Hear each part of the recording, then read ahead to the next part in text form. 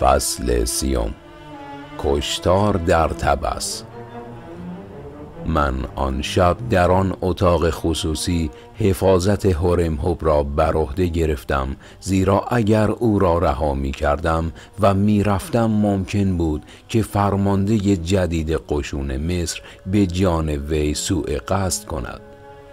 ولی از صحن عمومی دکه تا صبح صدای خنده و قوقای سربازهایی که مستحفظ می فروشی بودند به گوش می رسید زیرا کابتا و شاگرد او که می دانستن حوادثی وخیم اتفاق خواهد افتاد به سربازان آبجو و غذا می تا اینکه دوستی آنها را جلب کنند. در آن شب نه فقط من نخوابیدم بلکه در شهر تبس هیچ کس غیر از افسران و سربازان فرعون نخوابیدند و من بعد شنیدم که خود فرعون هم در آن شب بیدار بود. چون مردم میفهمیدند که روز بعد در زندگی سکنه شهر تبس یک روز بزرگ خواهد بود و در آن روز به احتمال قوی بین ارتش مصر و سکنه شهر که در معبد بزرگ آمون و مقابل معبد ازدهام کرده بودند جنگ در می‌گیرد. در آن شب کاهنان معبد آمون قربانی کردند و به کسانی که درون معبد و خارج آن بودند نان و گوش خورانیدند و طوری فریاد آنها بلند بود که وقتی من در اتاق خصوصی میکده گوش فرا می دادم صدای آنها را می شنیدم کاهنان لحظه به لحظه نام آمون را می بردن و می گفتند که هر کس در راه آمون خود را فدا کند به طور حتم نائل به سعادت جاوید خواهد گردید. و من یقین دارم که اگر کاهنان مردم را تحریک نمی کردن خون ریزی روز بعد و ایام دیگر به وقوع نمی پیوست چون اگر کاهنان تسلیم می شدن فرعون که صلح دوست بود و از خونریزی نفرت داشت آنها را آزار نمی کرد و بعید نبود که قسمتی از عراضی و زر و سیم آمون را به کاهنان مزبور بدهد که بقیه عمر به راحتی زندگی نمایند. ولی وقتی کسانی عادت کردند که دارای قدرت و ثروت باشند طوری به آنها علاقه من می شوند که در راه حفظ قدرت و ثروت از جان خود هم می گذرند. کاهنان می دانستند که اگر جنگی در بگیرد بدون شک سبب خواهد شد که مردم از فرعون به شدت متنفر شوند زیرا در صورت بروز جنگ سربازان سیاه پوست مردم را قتل عام می کردن. گرچه بر اثر این خونریزی مجسمه آمون سرنگون می‌شد ولی میثاق خون طوری آمون را در قلب ها تثبیت می کرد که مردم هرگز خدای مزبور را فراموش نمی نمودند. و تا ابد فرعون را مورد لعن قرار می‌دادند که چرا سربازان وحشی سیاپوس را به جان ملت خود یعنی مصری های سفید پوست انداخته است. در واقع کاهنان امیدوار بودند که به وسیله مقاومت و ایجاد قتل عام آمون را خدای جاوید کنند ولو مجسمه ای سرنگون گردد و معبدش بسته شود. وقتی روز شد حرارت خورشید در مدتی کم خفگی هوای شب را از بین برد و آن وقت در چهار راهها و میدانهای تبس صدای نفیر برخاست و چند خارجی از میدانی به میدان دیگر می‌رفتند و از روی پاپیروس فرمان فرعون را میخواندند و مضمون فرمان این بود. که آمون خدایی است دروغ و باید او را سرنگون کرد و تا ابد بر وی لعن فرستاد و تمام معبدهای این خدای کاذب در مصر علیا و سفلی و همچنین تمام عراضی و احشام و غلامان و زروسیم و مثل او به تصرف فرعون و خدای وی آتون در می آید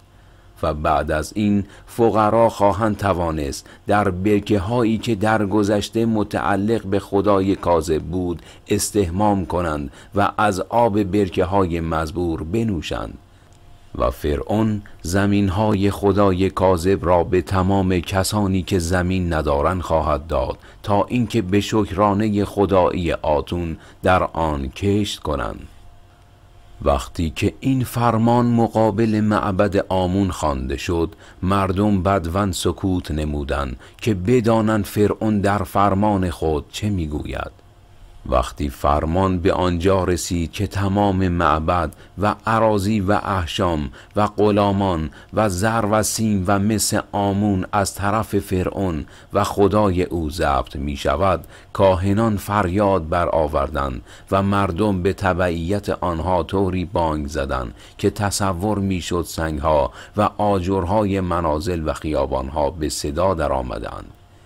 سربازان سیاه پوست که رنگهای سرخ و سفید را دوست دارند و به همین جهت صورت را سرخ و سفید کرده بودند وقتی این فریاد را شنیدند دچار بیم گردیدند و وحشت زده با چشمهای سفید خود چپ و راست را می نگریستند چون میفهمیدند با اینکه شماره آنها زیاد است اگر مورد حمله سکنه تبس قرار بگیرند به قتل خواهند رسید. به قدری مردم به شدت فریاد می‌زدند که مردم نتوانستند قسمتهای آخر فرمان فرعون را بشنوند و متوجه نشدند که فرعون که تصمیم گرفته است آمون را از بین ببرد نام خود را تغییر داده و اسم خیش را اخناتون یعنی محبوب آتون گذاشته است. وقتی مردم را مقابل معبد آمون میخواندند من آنجا نبودم و جریان واقعه را بعد شنیدم. ولی مردم طوری فریاد می‌زنند که صدای آنها به دم تمساه می رسید و هرمهب از صدای مردم بیدار شد و برخاست و نشست و گفت سینوهه مشروبی که تو دیشب به من خورانیدی قوی بود و تا صبح خوابیدم. هرمهو بر اثر شنیدن فریاد مردم و اینکه نام آمون را بر زبان می آورند وقایع جاری را که هنگام مستی و خواب فراموش می شود به یاد آورد و به راه افتاد. و من هم در قفای او روان شدم و از اتاق خصوصی وارد صحن میخانه شدیم و من دیدم که در صحن میکده عدهای از سربازان که شب قبل در نوشیدن افراد کرده اند و از مستی در گوشه افتاده اند هنوز در خواب هستند. هوب سر را در یک تشت پر از آب سرد فرو برد تا اینکه کسالت خواب شب قبل را دور کند و بعد یک سبو آب جو و یک نان از میکده برداشت و ما از کوچه های خلوت به طرف معبد آمون روان شدیم. وقتی نزدیک معبد رسیدیم آن مرد کوتاه قد و فربه که فرمانده جدید ارتش مصر بود و به نام پپیت آمون خوانده می‌شد سوار بر تخت روان خود خطاب به سربازان چنین می گفت ای سربازان سرزمین کوش و ای دلاوران کشور شردون فرعون امر کرده که این آمون ملعون را سرنگون کنید و من به شما قول می دهم که به پاداش خواهید رسید. پس از این حرف فرماندی جدید ارتش مثل اینکه وظیفه خود را خاتمه یافته دانست در تخت روان دراز کشید و به مناسبت گرمای هوا غلامان او را باد زدند. رؤسای دسته ها به سربازان خود امر کردند که برای حمله آماده باشند. من و هرمهب در جایی بودیم که مقابل معبد و صحن اول آن را به خوبی می دیدیم و مشاهده می کردیم که پر است از مردان سفید پوش و زنها و اطفال و بعضی از بچه ها هم هنوز از خواب بیدار نشده بودند و به نظر می رسید که همه آنها شب مقابل معبد یا در صحن آن خوابیده اند یک مرتبه سربازان سیاه پوست که صورتهای رنگ شده داشتند به حرکت در آمدن و عرابه های جنگی به راه افتاد و خواستند که وارد معبد آمون شوند. سربازها با کعب نیزه مردم را از سر راه دور کردند تا اینکه به در معبد رسیدند. ولی موقعی که عرابه های جنگی می‌خواستند وارد معبد شوند مردم فریاد زدن آمون و با یک حرکت مبادرت به حمله نمودند. و چون نمی توانستند با سربازان جنگ آزموده سیاه پوست به جنگن خود را زیر عرابه ها انداختند و طوری با اجساد خود راه را بستند که عرابه ها متوقف شوند و اسب ها به وحشت درآمدند و دست و پا زدند و زجه زنها و اطفال به آسمان رسید. مردم طوری به هیجان و خشم در آمده بودند که اگر سربازان سیاه پوستا آخرین نفر آنها را به قتل می رسانیدن دست از مقاومت بر نمی داشتند ولی افسران چون می دانستند که فرعون تأکید کرده که خون ریخته نشود فرمان عقب نشینی را صادر کردند. وقتی مردم دیدند که سربازها و عرابه ها عقب نشینی کردند یا اینکه عدهای از آنها کشته و مجروح شده بودند قوقای شادی آنها فضا را به لرزه درآورد. من و هرمهب که ناظر این وقایع بودیم دیدیم که افسران به تخت روان فرمانده ارتش نزدیک شدند و به او گفتند ای پپیت آمون ما بدون خونریزی نمی توانیم جلو برویم و از طرفی فرعون گفته نباید خونریزی شود. پس بگویید که تکلیف ما چیست؟ فرمانده ارتش که متوجه شده بود که فرعون نام خود را عوض کرده در صدد برآمد که نام خود را نیز عوض نماید و گفت که من پپیت آمون نمی باشم بلکه اسم من پپیت آتون است. یعنی برکت یافته از آتون. یکی از افسران ارتش که یک شلاق زرین در دست داشت و معلوم بود که فرمانده هزار سرباز است گفت من نه به آتون کار دارم و نه به آمون و نه به برکت یافتگان آنها بلکه از تو می‌پرسم که تکلیف ما چیست و آیا باید معبد آمون را تصرف کنیم یا نه؟ فرمانده ارتش گفت هر طور که فرعون دستور داد همانطور عمل کنید و چون وی گفته نباید خونریزی شود شما هم بدون خونریزی معبد را به تصرف درآورید و مجسمه آمون را سرنگون نمایید. در حالی که این شورای جنگی کنار تخت روان فرمانده ارتش تشکیل شده بود مردم سنگهای کف حیات و خیابان را میکندند و به طرف سیاه پوستان پرتاب می نمودند. و یکی از سنگها ساق دست اسب فرمانده ارتش را که به تخت روان بسته شده بود شکست و شخصی یک چشم اسب را کور کرد و پپیت آتون وقتی دید که اسب او کور و لنگ شد به خشم درآمد و از تخت روان قدم بر زمین نهاد و سوار یکی از عرابه جنگی شد و فرمان داد که به معبد حمله کنند. وقتی عرابه های جنگی به حرکت در آمدن رانندگان عرابه ها و سربازانی که در آن بودند مردم را بلند می کردند و بیدرنگ از اطراف عرابه حلقاویز می نمودند و می گفتند بدین ترتیب دستور فرعون رعایت می شود برای اینکه ما خون بر زمین نمی ریزیم و کسی که خفه می گردد خونش ریخته نمی شود سربازان سیاه پوست کمانها را همایل نمودند و وسط جمعیت دویدند و هر کس را که به دست می آوردن با دو دست خود خفه می کردن و من و هرمهب با نفرت دیدیم که آنها حتی کودکان و زنان را خفه می نمودند مردم از هر طرف بر سربازهای سیاه پوست می انداختند و آنها می کوشیدند که به وسیله سپر خود را محافظت نمایند و به محض اینکه یک سیاه پوست به دست مردم می افتاد در یک لحظه قطع قطعه می شد هرمهب که سبوی آشامیدنی را در دست داشت و نان را بر کمر زده بود. روی یکی از مجسمه های مقابل معبد که تنه اش مانند شیر و سرش چون قوچ بود قرار گرفت و میدان جنگ را بهتر ببیند. و شروع به خوردن نان کرد و گاهی من سبوی نوشیدنی را که از وی گرفته بودم به او می‌دادم که بنوشد.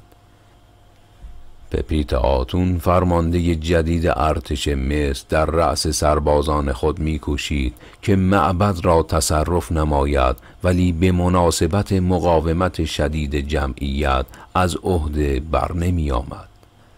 در کنار تخت روان وی میزان ساعت آبی از آب خالی می‌شد و آن مرد می‌فهمید که وقت به سرعت میگذرد یک وقت شنیدم که چند نفر از افسران را صدا زد و آنها را نزدیک تخت روان آورد و گفت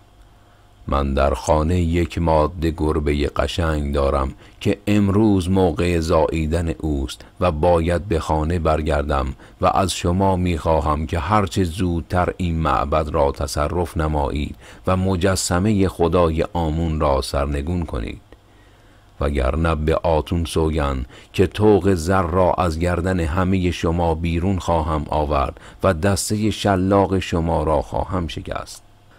رؤسای نظامی که فهمیدند که اگر معبد را تصرف ننمایند معزول خواهند شد سربازان خود را جمع آوری کردند و مطابق فنون نظامی به آنها فرمان حمله دادند.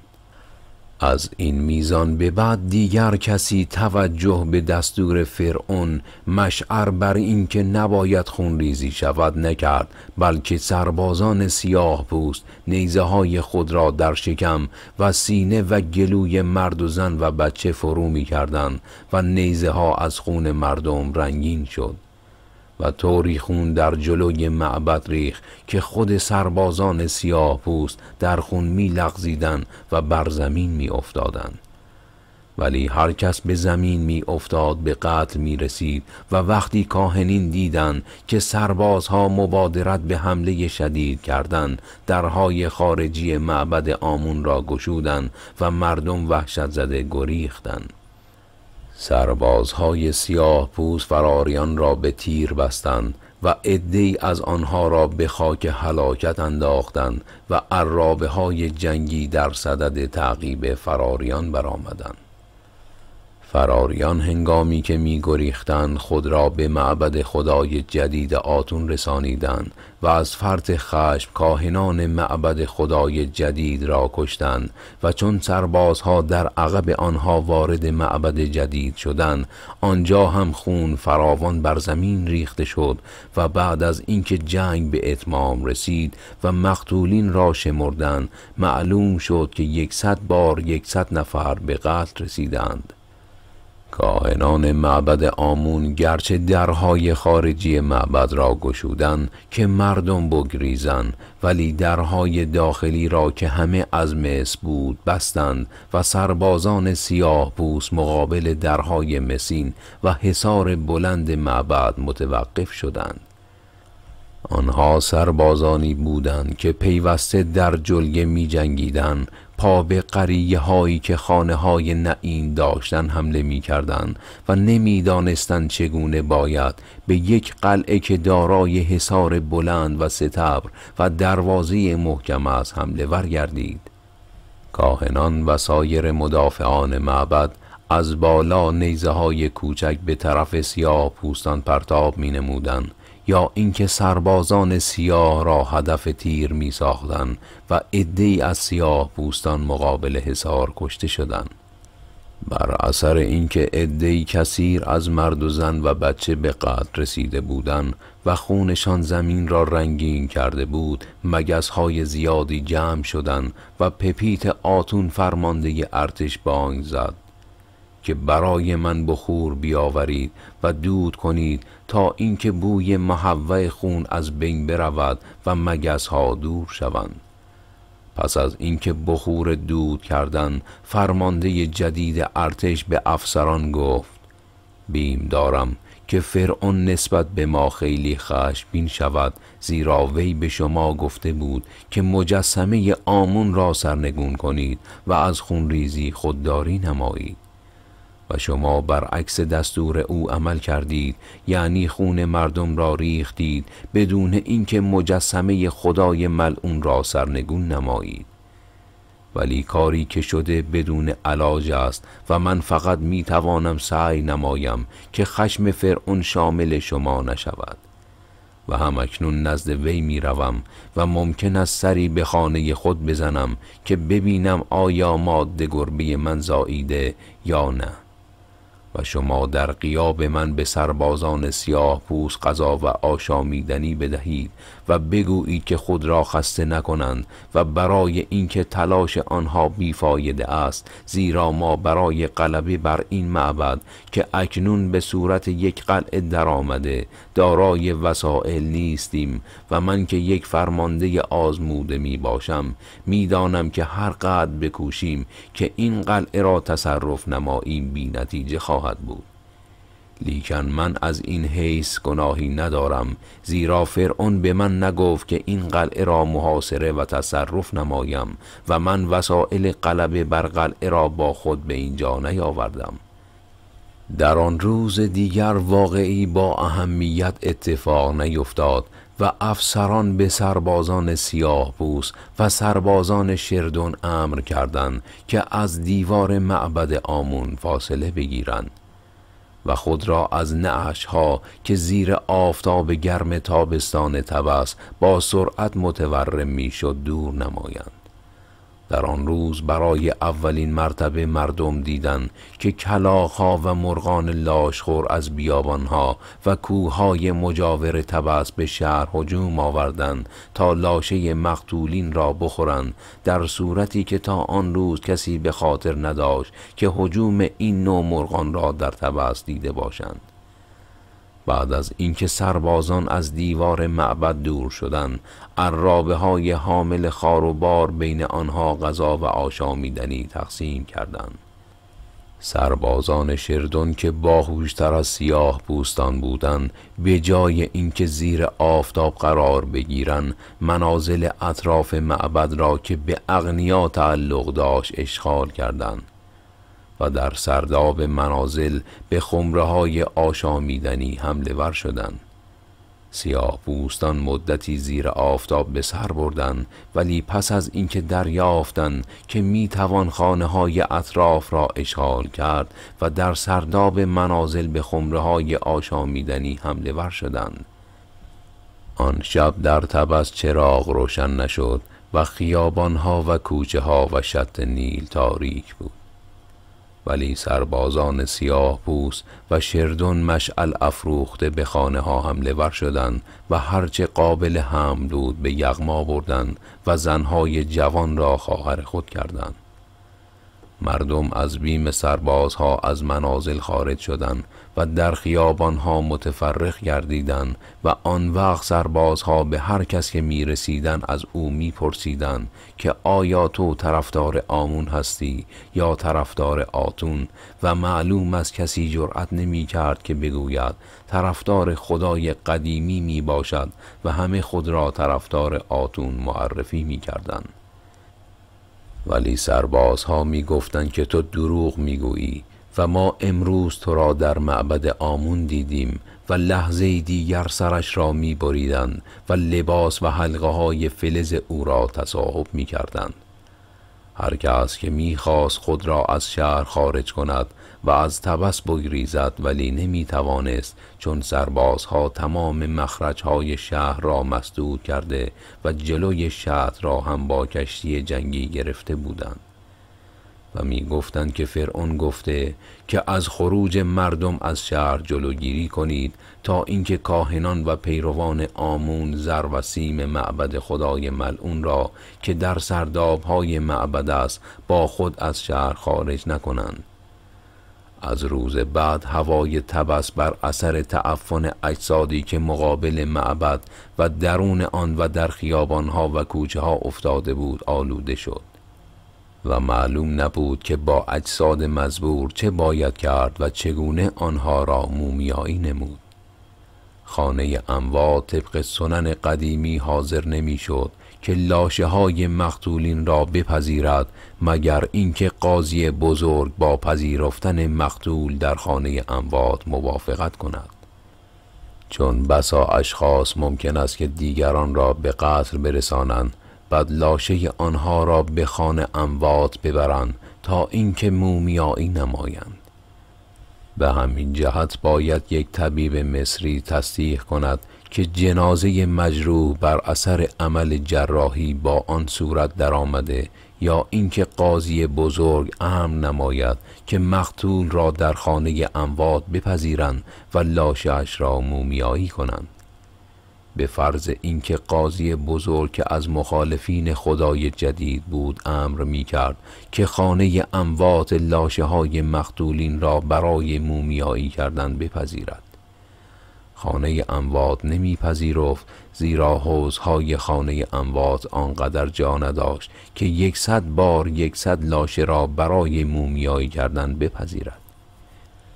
دیگر اینکه در خانه اموات کارکنان مؤسسه مزبور با خدای جدید مخالف بودند زیرا شایعه شده بود که خدای جدید قصد دارد که نرخ مومیایی کردن اموات را ارزان کند. چند سال قبل پیش از اینکه من مسافرت بزرگ خود را که شرح آن گذشت شروع کنم هنگامی که برای مومیایی کردن لاشه پدر و مادر خود به خانه اموات رفتم با اینکه کارکنان مؤسسه مزبور از همه چیز می دزدیدن شکایت می کردن که مزد آنها کم است و باید بر مزدشان افزوده شود و به طریق اولی حاضر نبودند که از مزد مزبور که آن را کم می دانستند بکاهند. افسران ارتش از بیم فرعون به صاحبان اموات اجازه ندادند که جنازه خیشاوندان خود را از مقابل معبد و خیابانها و کوچه ها بردارند و به خانه اموات ببرند.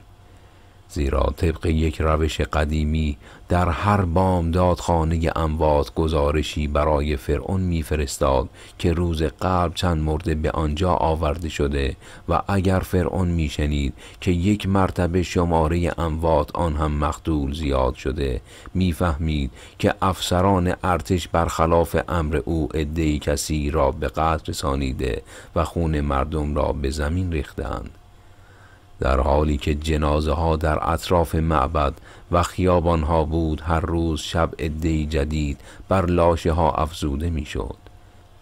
زیرا سربازان سیاه پوست و جنگجویان شردون بر اثر بوی خون و لذت چپاول و خوردن اغذیه و اشربه زیاد طوری انضباط را زیر پا گذاشته بودند که افسرانشان نمی توانستند جلوی آنها را بگیرند یک مشت آدم کشت و دوز که در گذشته از بیم آمون و گزمه جرأت نداشتند که قبرها و خانه ها را مورد دستبرد قرار بدهند و به زنها تعرض نمایند. از بیغوله ها و کلبه های دور افتاده کنار شط نیل خارج شدند و هر یک از آنها یک صلیب خدای جدید را روی سینه نقش کردند و به عنوان اینکه پیرو خدای نوین هستند شروع به قتل و حدک حرمت و سرقت خانه ها و قبرها نمودن و حتی از قبور فرائنه مصر هم نگذشتند. کاهنان معبد آمون از بالای حصار برای فرعون و خدای جدید او نفرین میفرستادند و می‌گفتند این مرد دیوانه و خدای دیوانه ترش وضعی به وجود آورده اند که تا پنجاه سال دیگر نمی‌توان ویرانی های آن را ترمیم کرد و هر شب از خانه های تبس آتش حریق به آسمان شعله می‌کشید و کسی نبود که آتش ها را خاموش کند. محله که خانه من در آن بود یعنی محله فقرا پناهگاه عدهای کثیر از مردها و زنها و اطفال شد زیرا مردم بعد از اینکه شنیدن که هرمهوب در خانه من سکونت کرده به آن محله آمدند تا اینکه در پناه هرمهوب از شر دوزها و سربازان سیاه پوست و جنگجویان شردون ایمن باشند. زیرا با اینکه سربازان رشته انضباط را گسسته بودند باز از رئیس سابق خود می ترسیدن و از ترس وی جرأت نمی کردن که به محله ما دستبرد بزنند. و شاید همچون محله ما مسکن فقرا بود آنها فکر می نمودن که هرگاه مبادرت به یغما نمایند چیزی نصیبشان نخواهد گردید. هرم در خانه من لاغر می شد و با اینکه غذاهای موتی زن خدمتکار مرا میپسندید اشتهای غذا خوردن نداشت و به من می‌گفت سینوه اگر کسی بتواند جلوی تقیان رود نیل را بعد از اینکه تقیان شروع شد بگیرد می‌توان جلوی سربازانی را که از تحت انضباط خارج شدهاند گرفت. و من چند سال مواظبت کردم تا اینکه سربازان من دارای انضباط شوند و مانند جانوران درنده وحشی نباشند. ولی این فرمانده جدید و احمق که فقط در فکر گربه های خود می باشد در ظرف چند روز سربازان مرا مثل جانوران درنده کرد و اکنون من اگر بخواهم انضباط را برقرار کنم چاره ندارم جز اینکه صدها نفر از سربازان را به قتل برسانم زیرا طور دیگر نمی‌توان آنها را وادار به اطاعت و انضباط کرد. در آن روزها که در تبس قتل عام و چپاول ادامه داشت تا ثروتمندتر و فربهتر می‌شد و میشنیدم که از ادامه آن وضع ابراز مسرت می کرد و می گفت ارباب من اگر این وضع تا موقع تقیان رود نیل ادامه داشته باشد من یکی از بزرگترین ثروتمندان مصر خواهم شد. برای اینکه سربازان زر و سیم و اشیاء نفیس را به سرقت می‌برند به میخانه می آورند و در ازای بهای آشامیدنی به من می‌پردازند و اکنون چند اتاق از اتاقهای خصوصی میخانه من پر از اشیای مسروق گردیده و قصد دارم به محض اینکه خروج از تبس آزاد گردید این اشیا را به وسیله کشتی به کشورهای خارج هم نمایم و در آنجا به فروش برسانم. هیچ یک از سربازان سیاه پوز و شردون و دوزها و اشرار مصری نمی توانستند در میخانه کابتا مبادرت به سرقت نمایند. یا اینکه آشامیدنی او را به رایگان بنوشند برای اینکه می‌دانستند که میخانه مزبور تحت حمایت سربازانی است که هرمهب آنجا گماشته است.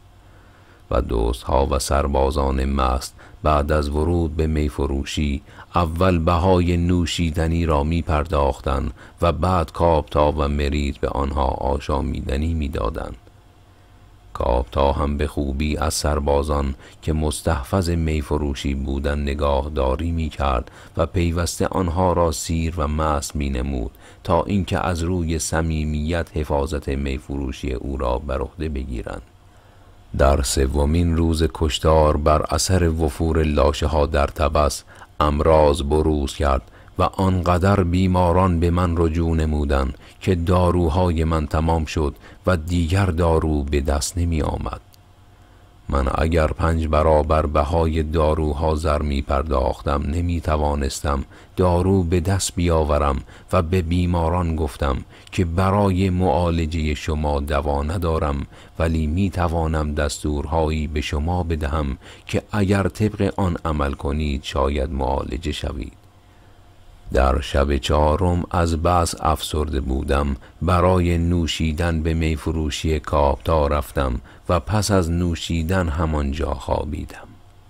و صبح مریت مرا از خواب بیدار کرد و من به او گفتم زندگی مانند شبی سرد که انسان آتش برای افروختن نداشته باشد. و در این شب سرد دو موجود تنها و غمگین که در کنار هم به سر می‌برند ممکن است از حرارت بدن یکدیگر استفاده نمایند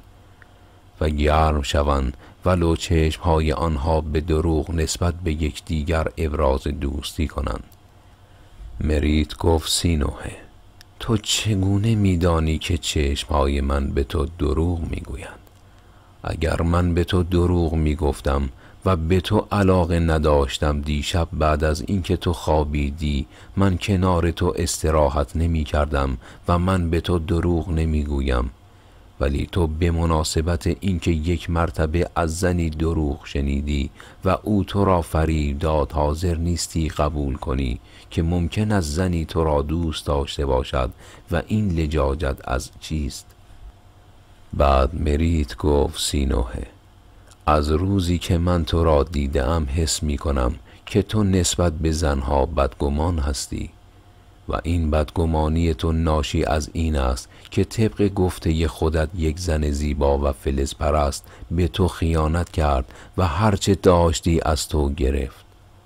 و تو را وادار نمود که از مصر بروی و چند سال در کشورهای دیگر زندگی کنی و آیا تو نمی توانی امروز که در این شهر که هر چیز طور دیگر شده و سقف اتاق جای کف را گرفته و درها معکوس باز می شوند حساب گذشته را با این زن تصویه نمایی تا اینکه بدبینی تو نسبت به زنها از بین برود.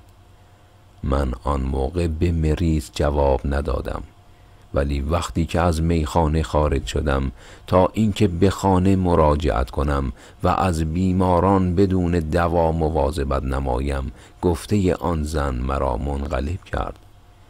من در آن موقع در فکر ثروت و خانه خود نبودم. حتی فکر دارایی پدر و مادرم را نمی کردم ولی از یک چیز بسیار متعلم بودم و آن اینکه نفر نفر نفر حتی قبور مادر و پدرم را از من گرفت و والدین بدبخت من بعد از اینکه یک عمر برای تربیت من رنج کشیدن عاقبت بدون قبر ماندند و این درد برای من تسکین ناپذیر بود و هرچه می کوشیدم که این یکی را فراموش کنم از عهده من بر نمی آمد. در راه تا وقتی که به خانه رسیدم می گریستم زیرا نمی دانستم که آیا باید انتقام خود را از نفر نفر نفر بگیرم یا نه.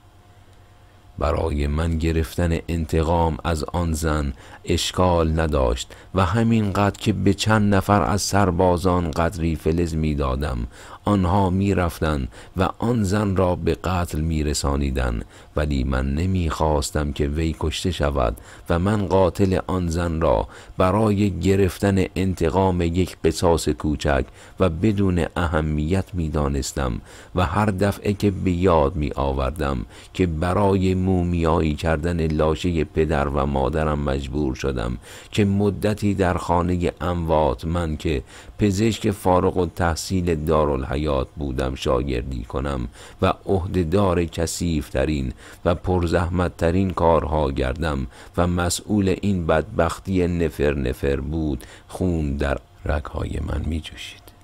من می توانستم از گرفتن انتقام از آن زن صرف نظر کنم ولی در آن صورت یک انسان مثل تو ای کسی که این کتاب را می‌خوانی نبودم بلکه مانند خدای تو می‌شدم و من نمی‌توانم خدای تو باشم. زیرا کسی که انسان از روح دارد و کسی که دارای روح از از خود و آزار دیگران رنج می‌برد و کینه آنها را بر دل می‌گیرد و نمی‌تواند کینه را فراموش نماید و فقط خدایان هستند که می‌توانند رنج ببینند و آزار بکشند ولی کینه نداشته باشند. در حالی که من فکر می کردم که چگونه می توانم از آن زن انتقام بگیرم به طوری که وی دیگر نتواند جوانهای دیگری را چون مرا در عهد شباب فریب بدهد وضع تبس بدتر می شد سربازها که تا آن موقع متعرض مردم می شدن طوری جسور گردیدن که به صاحب منصبان خود حمله می نمودن و شلاق را از دستشان می گرفتن و بر فرقشان می کوبیدن و توق زر را از گردنشان خارج می کردن و نسبت به آنها غضب می نمودن. یکی از صاحب منصبان در صدد برآمد که برای استرداد توق زرین خود پیکار کند و سربازهای سیاه پوست با نیزه به وی حمله ور شدند و لحظه دیگر لاشه صاحب منصب مزبور بر زمین افتاد. در همان روز از طرف فرعون مردی به خانه من آمد و به هرمهب گفت برخیز و با من به کاخ فرعون بیا زیرا فرعون تو را خواسته است. هرمهب برخاست و خود را شست و به طرف کاخ سلطنتی روان شد و من از مذاکرات فرعون و هرمهب بعد بر اثر صحبتی که هرمهب نمود مطلع شدم. فرعون وقتی هرمهب را دید به او گفت سکنه شهر تبس را مانند مرغابی به قتل میرسانند و بسیاری از زنها مورد تجاوز سربازهای سیاه پوست قرار گرفتند و اینک کار به جایی کشیده که سربازان افسران خود را می‌زنند و به قتل میرسانند. و از فرمانده ارتش برای جلوگیری از آنها کاری ساخته نیست و من تو را مثل گذشته فرمانده ارتش می کنم تا اینکه امنیت و انضباط را برقرار نمایی. هرمها گفت ای اخناتون تو خود خواستی که اینطور شود و اینطور شد. فرعون گفت من نمی خواستم که اینطور شود و من نگفته بودم که مردم را به قتل برسانند و اموال آنها را به یغما ببرند و به زنها تجاوز کنند بلکه گفته بودم که بدون خونریزی آمون را سرنگون نمایند. هرمهک گفت وقتی تو به یک نفر می‌گویی که یک خمره شراب بنوشد ولی مست نشود حرفی می‌زنی که دور از عقل است. زیرا وی بعد از اینکه یک خمره شراب نوشد مست خواهد شد. و اینطور هم که تو می‌خواستی آمون را سرنگون نمایی نتیجه اش همین است که می‌بینی.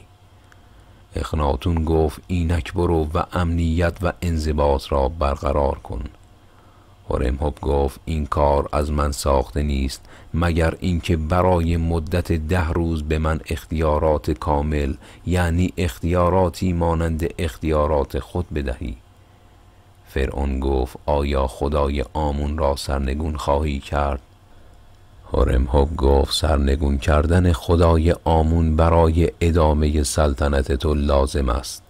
چون تو اگر او را سرنگون نکنی بعد از این نخواهی توانست در مصر سلطنت نمایی. و وقایع چند روز اخیر وضعی به وجود آورده که یا تو باید سلطنت کنی یا آمون خدایی نماید. فرعون گفت پس مواظب باش هنگامی که به معبد آمون حمله می کنی کاهنان آن معبد به قتل نرسند. هرمهب گفت من قبل از اینکه به معبد حمله کنم باید سربازان را که وحشی شده ان بر جای خود بنشانم و پس از اینکه نوبت حمله به آمون رسید به تو خواهم نشان داد که چه خواهم کرد. فرعون توق و شلاق فرماندهی را به هرمهب داد و امر کرد که عرابه مخصوص وی را به سواری فرمانده ارتش اختصاص بدهند.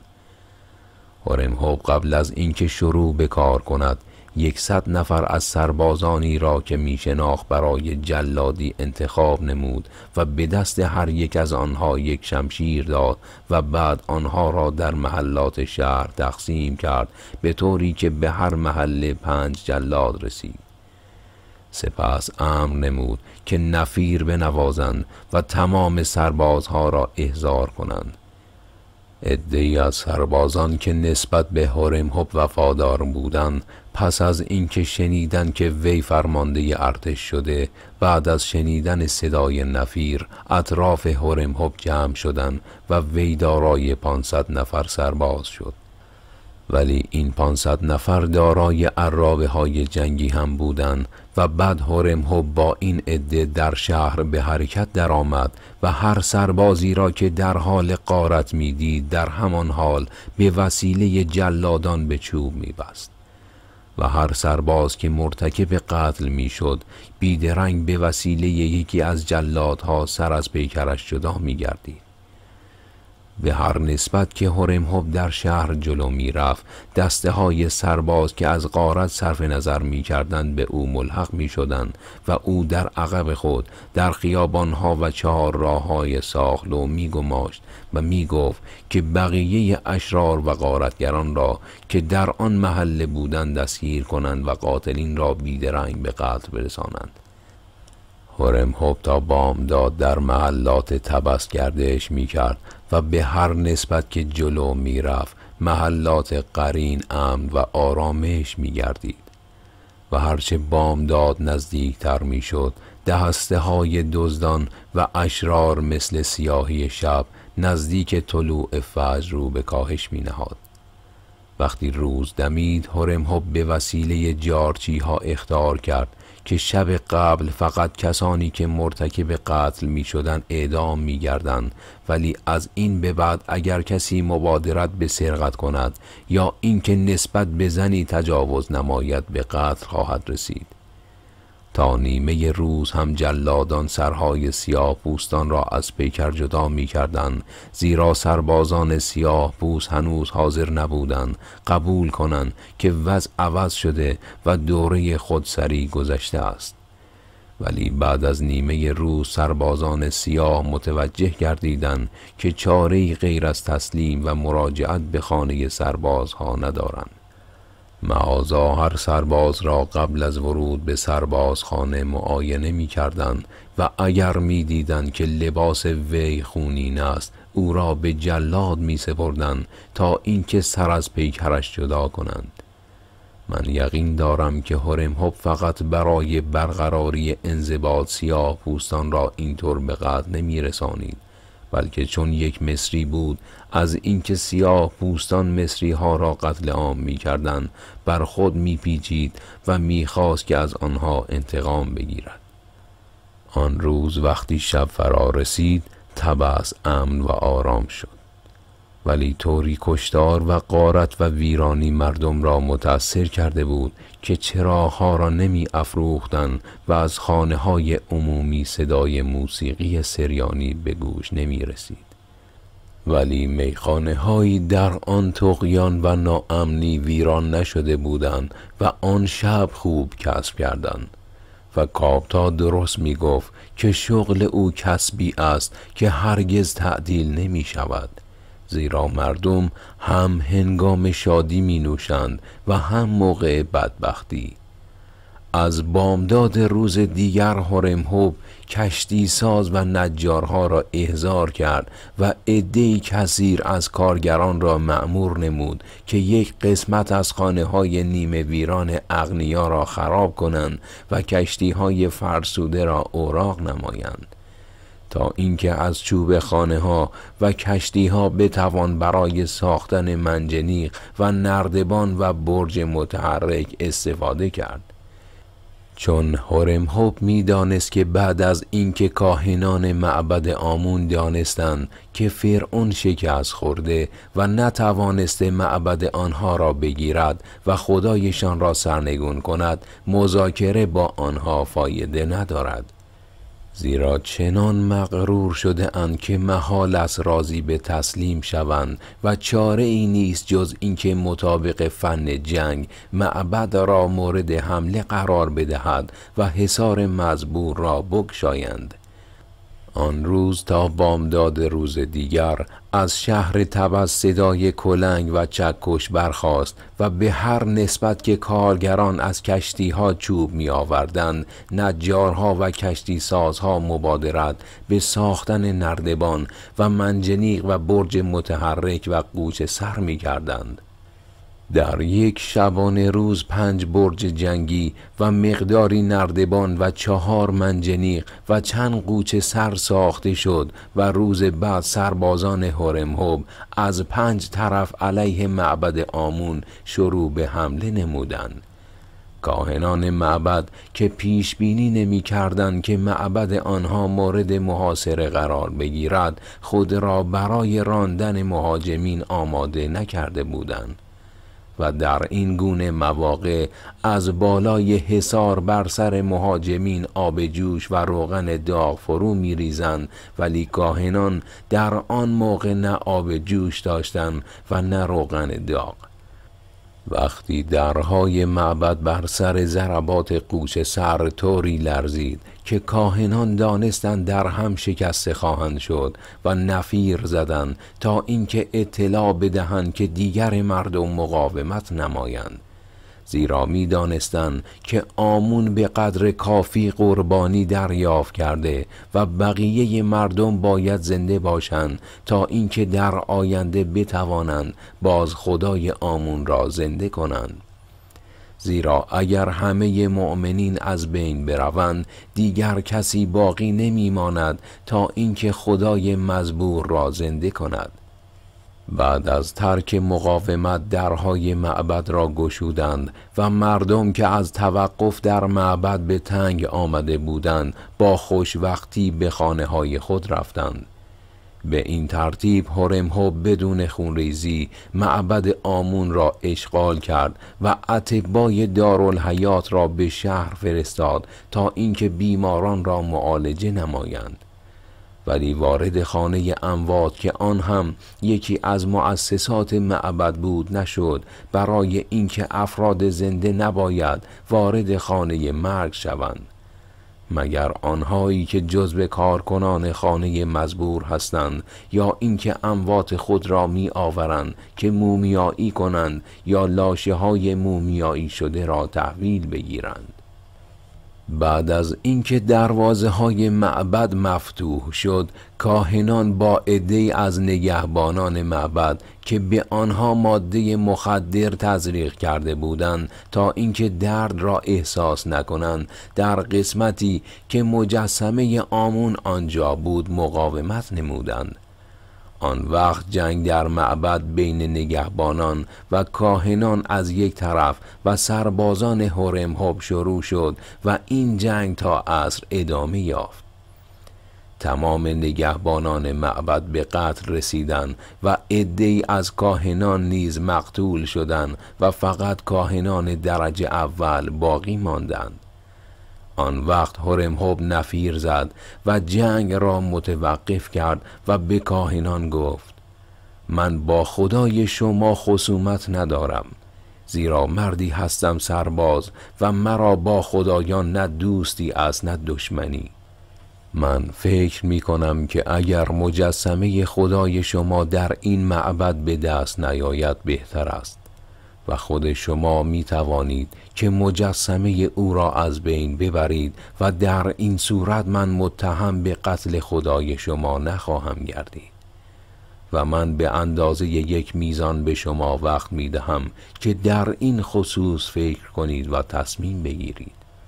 و بعد از آن مبادرت به حمله خواهم کرد برای اینکه من سرباز هستم و باید امر فرعون را اجرا کنم و اگر شما بعد از یک میزان مجسمه خدای خود را از بین ببرید و بخواهید از معبد خارج شوید هیچ کس مزاحم شما نخواهد گردید. و فقط ما دقت می کنیم که شما زر و سیم معبد را که متعلق به خدای فرعون است با خود نبرید. کاهنان گفتند بسیار خوب و ما یک میزان دیگر جواب خود را خواهیم گفت. بعد از اینکه یک میزان گذشت کاهنان از مکان خود خارج شدند و به هرمهب گفتند که وارد شود و وی بعد از ورود مجسمه خدای آمون را ندید و دانست که کاهنان مجسمه مزبور را در هم شکسته و قطعات آن را با خیش از معبد خارج می کنند تا اینکه بتوانند بگویند که آمون غیبت کرد ولی در آینده آشکار خواهد شد. هرمهب درهای گنج معبد را مهرموم کرد و حجاران را معمور نمود که اسم آمون را از روی سنگهای معبد حذف کنند و به جای آن نام آتون را بنویسند. بعد به وسیله جارچیان به اطلاع مردم رسانید که آمون از بین رفت و به جای او آتون از امروز به بعد خدای مصر است. مردم بعد از اینکه دانستند که جنگ و خونریزی تمام شد از منازل خارج گردیدند و هنگام شب تبس مثل موقعی که امنیت برقرار بود با چراغها روشن شد. بر اثر برقراری امنیت و صلح و آغاز خدایی آتون تفاوت بین سفید و سیاه از بین رفت و من خود بارها دیدم که اغنیا سیاه پوستان را به خانه خود دعوت می کردن. همان شب هنگامی که برای مراجعت به خانه از شهر عبور می کردم دو واقعه را دیدم که فراموش نمی کنم. یکی اینکه مشاهده کردم مردی از طبقه اشراف در کوچه ای از سیاه پوستی دعوت می کند که به خانه او برود و با او غذا تناول نماید. و دیگر اینکه یکی از نگهبانان معبد آمون را مشاهده کردم که مجروح کنار خیابان افتاده بود و نام آمون را بر زبان می آورد ولی مردم ریختند و مغزش را با سنگ متلاشی کردند و زنها اطراف لاشه او رقصیدند و همانها که مغز سر آن مرد را با سنگ متلاشی کردند که چرا نام آمون را بر زبان آورده ده روز قبل اگر کسی به آمون توهین می کرد او را به قتل می رسانیدن. من هنگامی که می خواستم به سوی خانه خود بروم این دو منظره را دیدم و سر را با دو دست گرفتم و به فکر فرو رفتم چون فهمیدم محال از روزی خدایی بیاید که بتواند جهالت و حماقت مردم را از بین ببرد و آن وقت به جای اینکه به طرف خانه بروم آزم دکه دم تمساح شدم. آن شب شبی نبود که من بتوانم به خانه بروم زیرا از جهالت نوع بشر و اعتقاد سست آنها بسیار متأثر بودم و راه دم تمسا را پیش گرفتم که با نوشیدن و صحبت با مرید خود را تسلا بدهم. وقتی آنجا رسیدم سربازانی که مستحفظ میکده بودند و از مناسبات دوستانه من با هرمهب اطلاع داشتند اطرافم را گرفتند و به من گفتند مریت به ما گفته که تو باید از یک نفر انتقام بگیری و نظر به اینکه می‌دانیم که تو از دوستان هرمهب هستی و چون میخانه به غلام سابق تو کابتا تعلق دارد حاضریم که انتقام تو را بگیریم. من از مرید سوال کردم که آیا تو به اینها گفتی که برای گرفتن انتقام خود را در دسترس من بگذارند؟ آن زن گفت بلی و من عقیده دارم که اگر امشب بگذرد و تو انتقام خود را از آن زن که گفتی تو را فریب داد و بدبختت کرد نگیری دیگر این فرصت را به دست نخواهی آورد. برای اینکه از فردا وضع تبس عادی می شود ولی امشب هنوز غیر عادی است و هر کس با دیگری خصومت دارد می تواند از وی انتقام بگیرد. به سربازان گفتم با من بیایید ولی به هوش باشید که شما امشب از فرمان هرمهب اطاعت می کنید و اگر بخواهید برخلاف فرمان او رفتار نمایید سرهای شما از پیکر جدا خواهد شد و من امشب فقط امر هرمهب را به شما ابلاغ می نمایم این حرف را زدم که سربازان بترسند و از اطاعت امر من سرپیچی ننمایند. سربازها گفتند مطمئن باشد که ما برخلاف دستور شما که می‌دانیم امر هرمهب است رفتار نخواهیم کرد. و گفتم دیگر اینکه کسی نباید مرا ببیند و بشناسد و شما معزون نیستین که نام مرا بر زبان بیاورید. بلکه اگر از شما توضیحی خواستن بگویید که از جانب خدای آتون آمده اید تا اینکه از دشمنان او انتقام بگیرید اینک قدری صبر کنید تا یک تخت روان بیاورند و من سوار آن بشوم و با شما بیایم. کابتا غلام سابق من شخصی را برای آوردن تخت روان فرستاد و بعد از یک میزان یک تخت روان آوردند و من سوار شدم و به اتفاق سربازان به راه افتادم تا اینکه به درب خانه نفر نفر نفر رسیدم. در آنجا من به سربازان گفتم در این خانه زنی است که از همه زنهایی که آنجا هستند زیباتر است. و شما در نظر اول او را از زیبایی و شکوه وی خواهید شناخت و به شرط اینکه از مشاهده سر تراشیده اش عاشق او نشوید و بروید و او را از اینجا بیاورید و اگر مقاومت کرد یک کعب نیزه به او بزنید که سکوت کند و دست از مقاومت بردارد. ولی زنهار که نسبت به او بدرفتاری ننمایید و اگر ها بداند که شما با این زن بدرفتاری کرده زیبایی او را از بین برده اید همه را به قتل خواهد رسانید. از درون خانه نفر نفر نفر صدای آواز و ساز به گوش می رسید و عدهای از مشتریان مست در آن خانه که یک خانه عمومی بود اربده می کشیدند.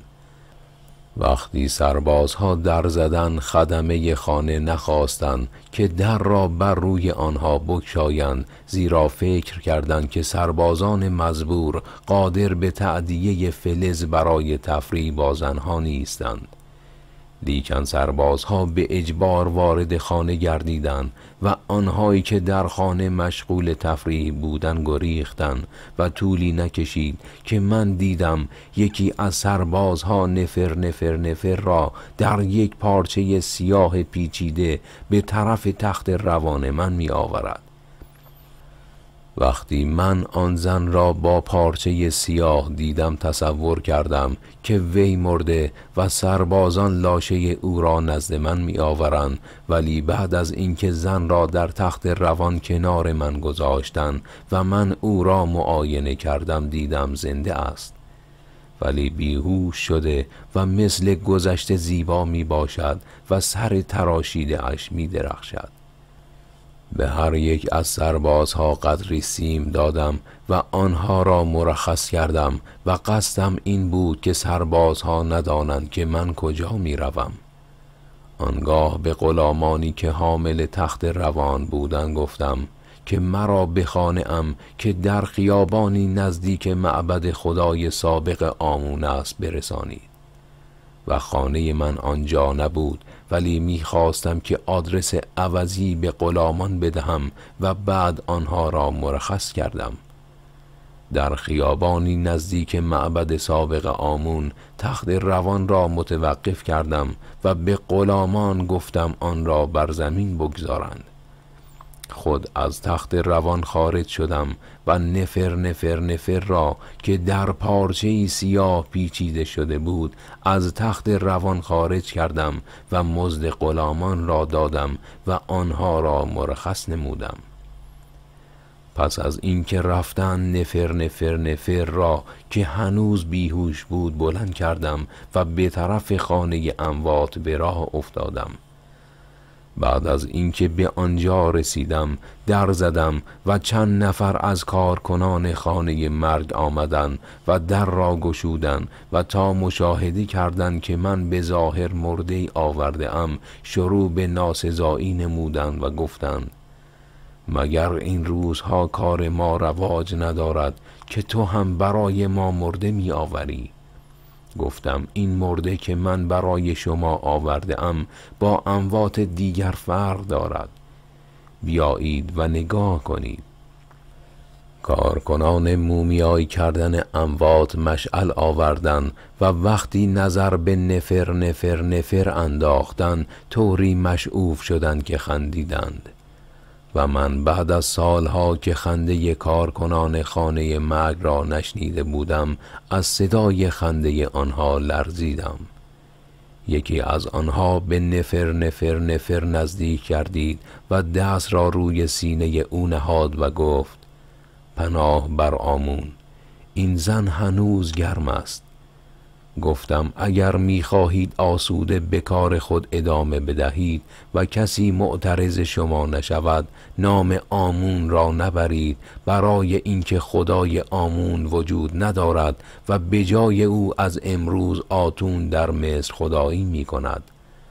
و اما این زن به طوری که حس می کنید گرم است و من او را به شما وامی گذارم که از وی به خوبی مواظبت نمایید و طوری بدنش را مومیایی کنید که هرگز فاسد نشود و توق زرین و جواهر او برای اجرت شما کافی است. وقتی خدمه خانه مرگ دانستند که آن زن زنده است فهمیدند که من چه می‌گویم. وقتی یکی از آنها گفت اگر من بدانم که تو ای مرد ناشناس پیرو خدای جدید مصر هستی من خدای جدید را ستایش خواهم کرد. زیرا از روزی که خود را شناختم در اینجا به سر می‌برم و پیوسته با زنهایی که از زمستان سردتر هستند هم آغوش شدم و هرگز اتفاق نیفتاده که یک زن زنده را در آغوش بگیرم. و اینک به برکت وجود تو من و دیگران می توانیم با یک زن زنده تفریح کنیم و اطمینان داشته باش که تا مدت هفتاد بار هفتاد روز او را در اینجا نگاه خواهیم داشت. و اگر روزی کسی از ما بازخواست کند که چرا یک زن زنده را در اینجا نگاه داشته اید خواهیم گفت که ما او را مرده تحویل گرفتیم ولی وی بعد از اینکه وارد آب نمک گردید به جان آمد. من می‌دانستم که کارکنان خانه اموات که در تمام عمر از تفریح با زن محروم هستند و به واسطه بویی کری که از بدن آنها استشمام می شود آنها را به خانه های عمومی تبس راه نمی دهند و محال است که بگذارند نفر نفر نفر از آنجا خارج شود.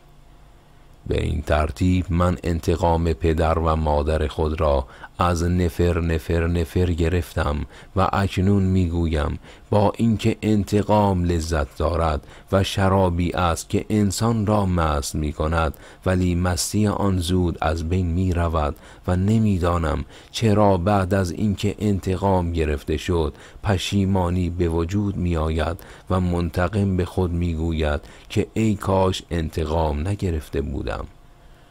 در آن موقع که من نفر نفر نفر را به کارکنان خانه مرگ تسلیم کردم برای اینکه خود را تسلا بدهم به خیش می گفتم که من این کار را برای نجات جوانان در آینده می کنم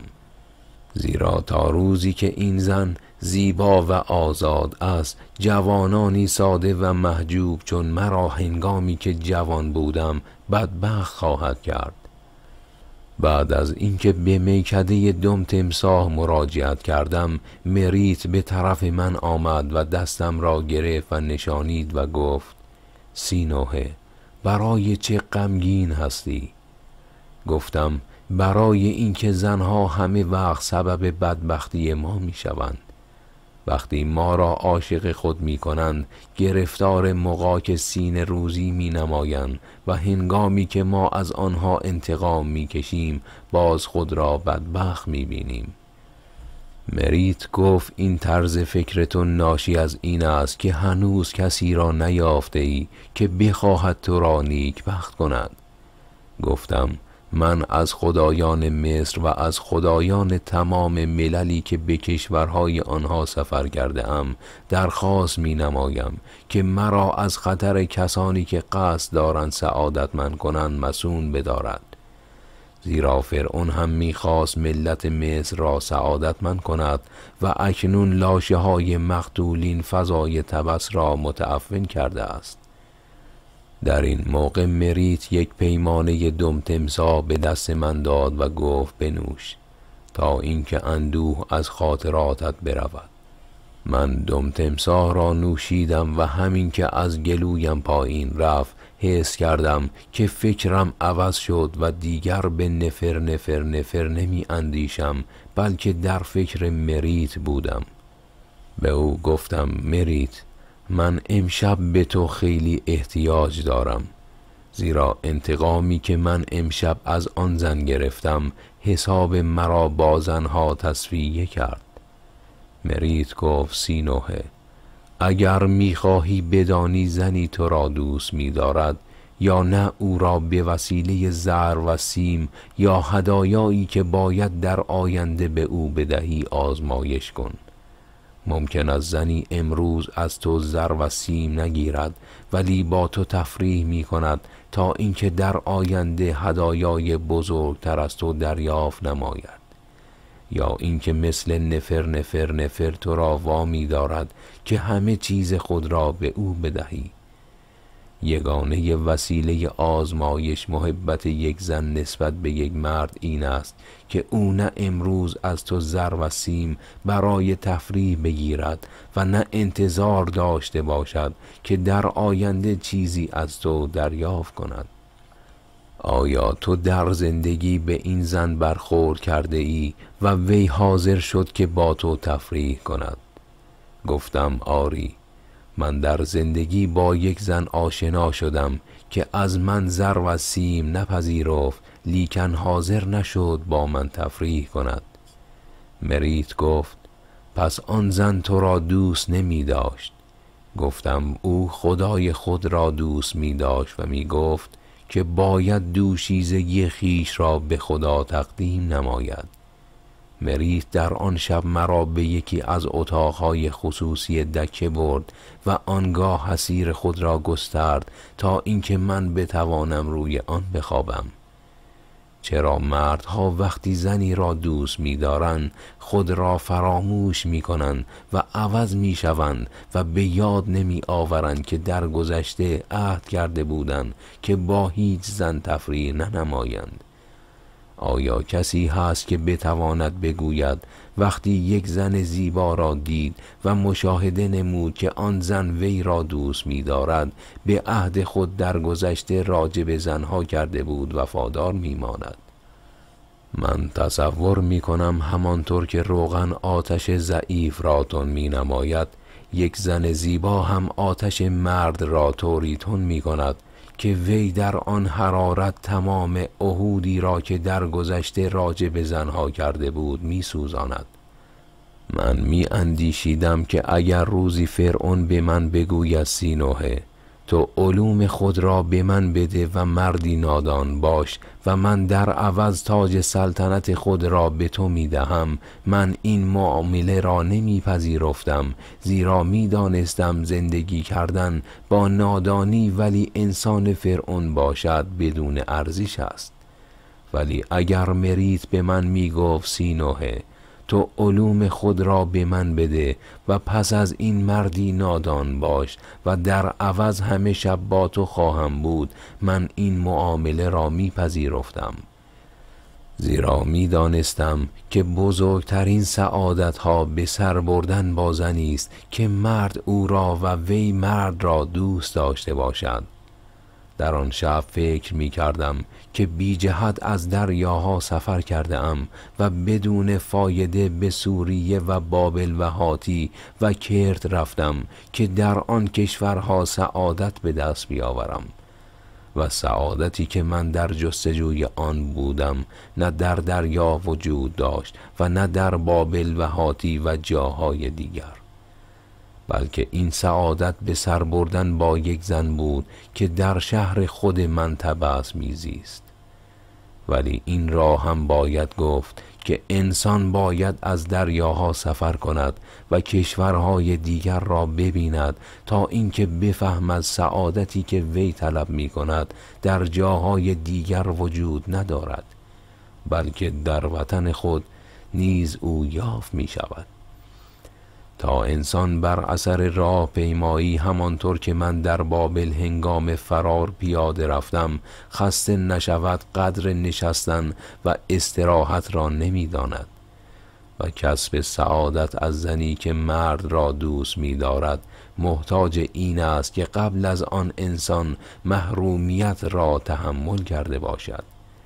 روز بعد وقتی من از خواب بیدار شدم مریت به من تبسم می کرد و به من گفت سینوه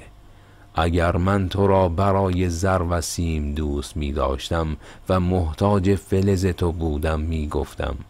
مرا از اینجا به خانه خود ببر تا اینکه بتوانم در آنجا آسوده زندگی کنم.